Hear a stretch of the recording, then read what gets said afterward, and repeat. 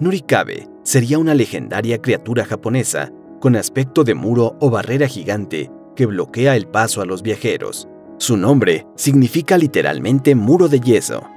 Según la leyenda, Nurikabe aparece en carreteras oscuras y solitarias por la noche y bloquea el camino, impidiendo o desorientando a los viajeros.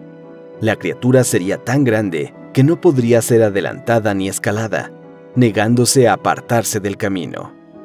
Algunos relatos la describen con rostro humano, mientras que otros dicen que no tiene cara, ni siquiera rasgos. Existen diferentes versiones de la leyenda, pero muchas de ellas sugieren que la criatura no es malvada, solo traviesa o incluso servicial en algunos casos. Si los viajeros eran educados y respetuosos con Nurikabe, éste se apartaba del camino y permitía el paso.